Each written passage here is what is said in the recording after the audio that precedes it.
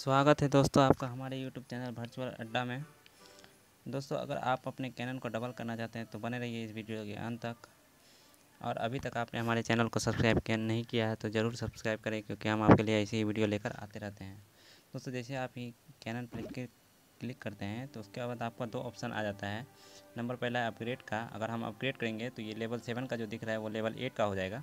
अगर हम gear up करते हैं तो कैनन को दिखा रहा है कि ये कैनन डबल हो जाएगा। लेकिन एक दोस्तों यहाँ पे प्रॉब्लम आ रही है कि आपको यहाँ जो, यहाँ देखिए आप मेरा, पंद्रह लाख कॉइन ऑलरेडी है।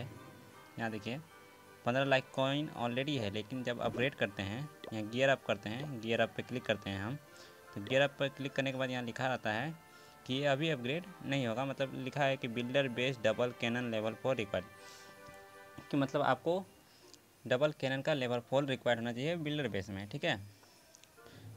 तो उसके लिए हमको पहले बिल्डर बेस में जाना पड़ेगा। यहाँ पे आप बिल्डर बेस में जा सकते हैं यहाँ नाव का नाव पे जाइएगा। नाव पे क्लिक कीजिए। ये देखिए, आप बिल्डर बेस में आ गए हैं। यहाँ पे। ये बिल्डर बेस है आपका। यहाँ पे जो आपका डबल कैनन है, उस पर क्लिक करना है।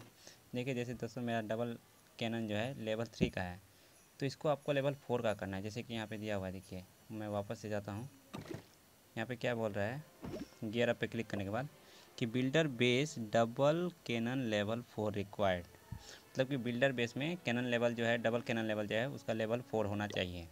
तो सबसे पहले आपको बिल्डर बेस का ये जो कैनन है, ये डबल कैनन है, इसको आपको लेवल फोर तक अपग्रेड करना पड़ेगा, तभी जाकर वहाँ आगे काम होगा। तो सबसे पहले हमको इसको तो सबसे पहले अब यहाँ आपको लेवल थ्री को लेवल फोर तक करना पड़ेगा।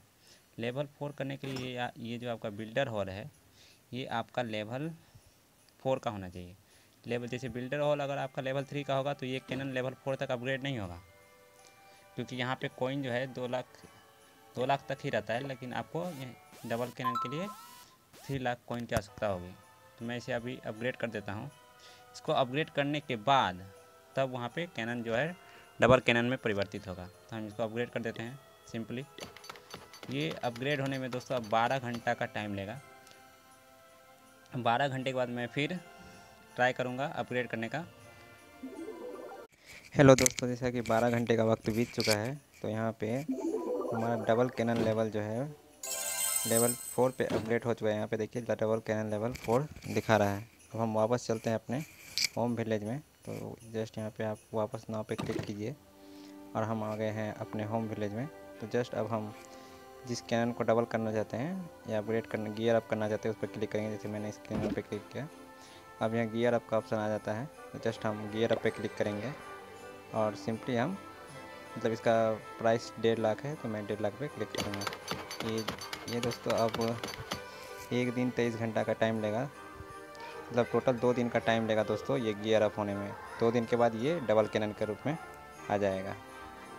अगर वीडियो अच्छी लगी तो दोस्तों इसको सब्सक्राइब चैनल को सब्सक्राइब करना ना भूलें, क्योंकि हम आपके लिए ऐसे ही वीडियो लेकर आते रहते हैं।